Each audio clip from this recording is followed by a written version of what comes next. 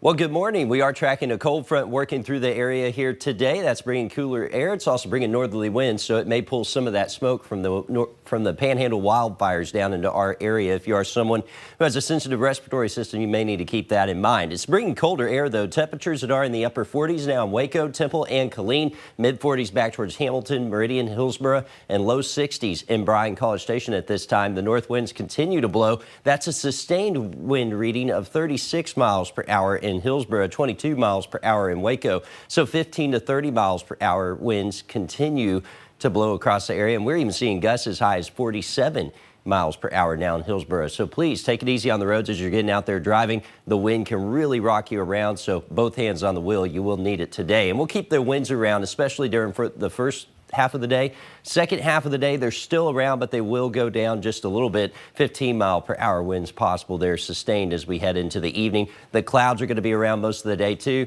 We'll only see temperatures get into the low 50s. I can't rule out some rain today, but I do think most areas stay dry.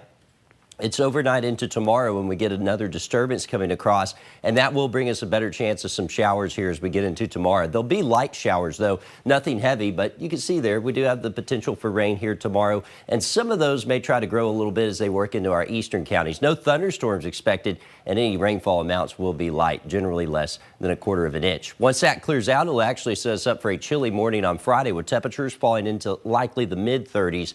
I don't expect a freeze here as we get into Friday morning, though models trying to go down that far, especially north of Waco typically. Maybe one that we have to watch, but I don't expect a widespread freeze by any means. And then we really start to warm up by Friday with the south winds kicking back in. We're in the mid 70s, and that'll set us up for another warm up heading on into the weekend. So your 10-day forecast looking like this. We'll call today for 53. The clouds staying pretty steady. North winds at 20 to 30 miles per hour. Those gusts even higher. Down to 42 overnight. 54 for tomorrow. Those rain chances coming in again. About a 40% chance of rain. Anything will be light. 73 Friday. Close to 80 for the weekend. And then next week's looking a little more unsettled as we get some springtime temperatures in here and some energy. We could see some thunderstorms trying to form there any day there Monday, Tuesday, Wednesday, Thursday, or Friday, but uh, all that should be isolated. Same in the Brazos Valley, upper 60s is where we start the day today. Those temperatures will fall through the day, though, and then look at those temperatures near 80 again this weekend.